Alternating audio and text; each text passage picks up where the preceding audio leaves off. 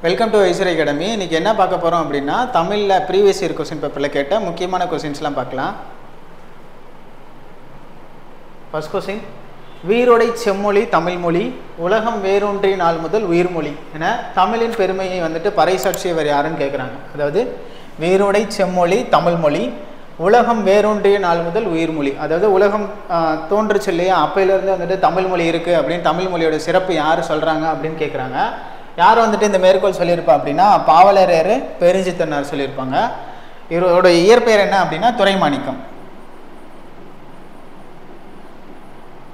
துறைமாணிக்கம் இவர் சேலம் சமுத்திரம் அப்படிங்கிற பகுதியில் வந்துட்டு பிறந்திருப்பார். இவருடைய இதழ்கள்லாம் ரொம்ப ரொம்ப முக்கியம். மூணே மூணு இதழ் நடத்தியிருப்பாங்க. என்ன அப்படின்னா தென்மொழி தமிழ்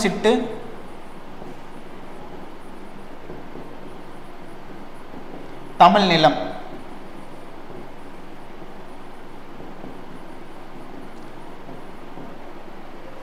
இதெல்லாம் யாரோட இதழ்கள் அப்படின்னா பாவலரேறு பெருஞ்சித்தனரோட இதழ்கள்.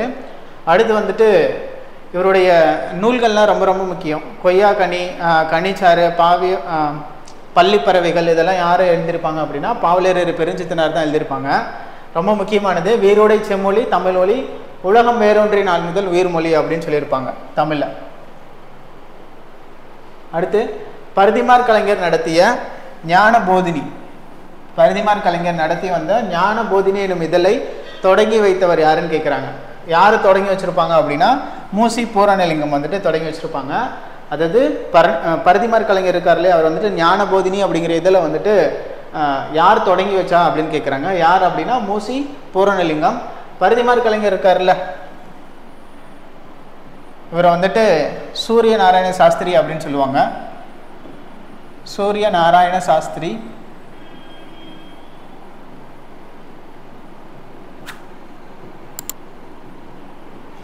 அடுத்து இவருடைய நூல்கள் ரொம்ப முக்கியம்.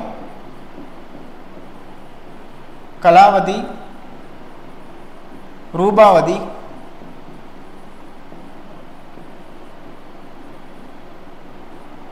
அடுத்து நாடகவியல் அப்படின்னு எழுதியிருப்பாங்க. நாடகவியல் அப்படிங்கிற நூல். அடுத்து இவருக்கு சிறப்பு பேர் ஒன்று இருக்குது என்ன அப்படின்னா திராவிட சாஸ்திரி. திராவிட சாஸ்திரி. யார் இந்த பேர் வச்சுருப்பாங்க அப்படின்னா சிவை தாமோதரனார் வச்சுருப்பாங்க. திராவிட சாஸ்திரின்னு யார் வச்சுருப்பாங்க அப்படின்னா சிவை தாமோதரனார். ரொம்ப முக்கியமானது இது எல்லாமே. பரதிமார் கலைஞர் நடத்திய ஞான போதினி அப்படி இதில் தொடங்கி வச்சது யாருன்னா பூரணிலிங்கம். பரதிமார் கலைஞர் இயற்பெயர் என்னென்ன அப்படின்னா சூரிய நாராயண சாஸ்திரி.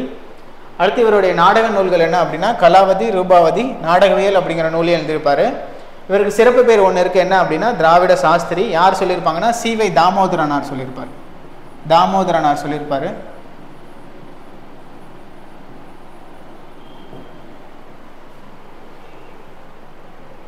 அடுத்து பாரதிதாசனார் இயற்றிய நாடக நூல்.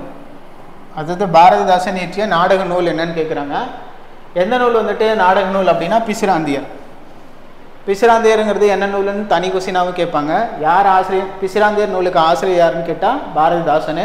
இது என்ன வகை நூல் அப்படின்னு கேட்டால் நாடக நூல். எந்த வருஷம் வந்துட்டு சாகித்ய அகாதமி விருது வாங்கியிருக்கோம் அப்படின்னா ஆயிரத்தி தொள்ளாயிரத்தி அறுபத்தி ஒன்பதாம் ஆண்டு என்ன பண்ணியிருக்கோம் அப்படின்னா இந்த நூல் வந்துட்டு சாகித்ய அகாதமி விருது வாங்கியிருக்கோம்.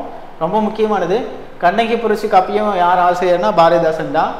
பாண்டியன் பரிசு யாருனாலும் பாரதிதாசன் தான். சுவரும் சுண்ணாம்பும் யார் எழுதியிருப்பாங்க அப்படின்னா சுரதா. சுரதா. இவர் தான் யார் அப்படின்னா? உவமை கவிஞர்.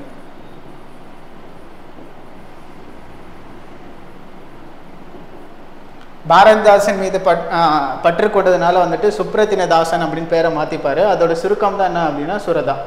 உவமை கவிஞர் என்ற போற்றப்படவும் இவர் தான் இவரோட நூல் தான் என்னது சுவரும் சுண்ணாமும். இப்போ கொஸ்டின் என்ன அப்படின்னா பாரதாசன் இற்றிய நாடக நூல் என்னன்னு கேட்டிருக்காங்க. என்ன நூல் அப்படின்னா பிசுராந்தியர். எந்த வருஷம் சாகித்ய அகாதமி விருது வாங்கிச்சு அப்படின்னா ஆயிரத்தி தொள்ளாயிரத்தி அறுபத்தி ஒம்போது. இதே வருஷம்தான் சுரதா இருக்கார் இல்லையா? ஆயிரத்தி தொள்ளாயிரத்தி அறுபத்தொம்போதில் தேன்மலை அப்படிங்கிற நூல் இருக்கும். தேன்மலை. இந்த நூலுக்காக என்ன பண்ணியிருப்பாருன்னா தமிழக அரசு விருது வாங்கியிருப்பாங்க. தமிழக அரசு விருது வாங்கியிருப்பாங்க. ரொம்ப முக்கியம். ரெண்டுமே ஒரே இயர் தான். அடுத்து சிலப்பதிகாரத்தின் தொடர்ச்சியாக கருதப்படும் நூல் எதுன்னு கேட்குறாங்க சிலப்பதிகாரத்தின் தொடர்ச்சியாக கருதப்படும் நூல் எது அப்படின்னு கேட்டால் மணிமேகலை. ஏன் மணிமேகலை சொல்கிறோம் அப்படின்னா சிலப்பதிகாரம் யாரை பற்றி சொல்லும்? கண்ணகி கோவலன் அப்புறம் மாதவி பற்றி சொல்லும். மணிமேகலை யாருன்னா கண் மணிமேகலைங்கிறது அந்த அந்த பொண்ணு யார் அப்படின்னா கோவலனுக்கும் மாதவிக்கும் பிறந்தவங்க தான் யாருன்னா மணிமேகலை. அதாவது அந்த அந்த கதை சிலப்பதிகாரத்தை தொடர்ச்சி காப்பியமாக தான் என்ன இருக்கும் அப்படின்னா மணிமேகலை இருக்கும். மணிமேகலை ஆசிரியர் யார் அப்படின்னா சீத்தலை சாத்தனார். சீத்தலை சாத்தனார். ரொம்ப முக்கியமானது. சிலப்பதிகா சிலப்பதிகாரம் ஆசிரியர் இருக்கார்லே இளங்கோடிகள் அவர் வந்துட்டு சீத்தலை சாத்தனார் என்னன்னு சொல்லியிருப்பாங்க அப்படின்னா சாத்தன் நன்னூர் புலவன் அப்படிங்கிற பேர்லாம் வந்துட்டு அழைச்சிருப்பார். ரொம்ப முக்கியமானது. மணிமேகலையும் சிலப்பதிகாரமும் எந்த நூற்றாண்டுனா இரண்டாம் நூற்றாண்டு இரட்டை காப்பியம்னு சொல்லுவாங்க. அடுத்து சீவக சிந்தாமணி ஆசிரியர் யார் அப்படின்னா திருத்தக்க தேவர் திருத்தக்க தேவர்.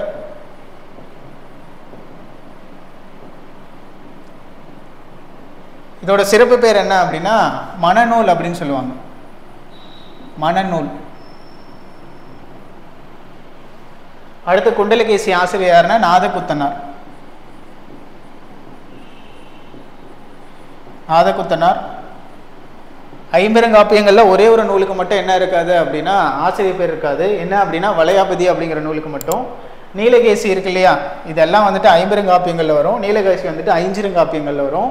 குண்டலகேசிக்கு மறுப்பாக பாடப்பட்டது தான் என்னது அப்படின்னா நீலகேசி. குண்டலகேசிங்கிறது பௌத்த சமயத்தை பற்றி சொல்லும். நீலகேசிங்கிறது சமண சமயத்தை பற்றி சொல்லும். குண்டலகேசிக்கு மறுப்பாக பாடப்பட்டது என்னன்னு கேட்டால் நீலகேசி.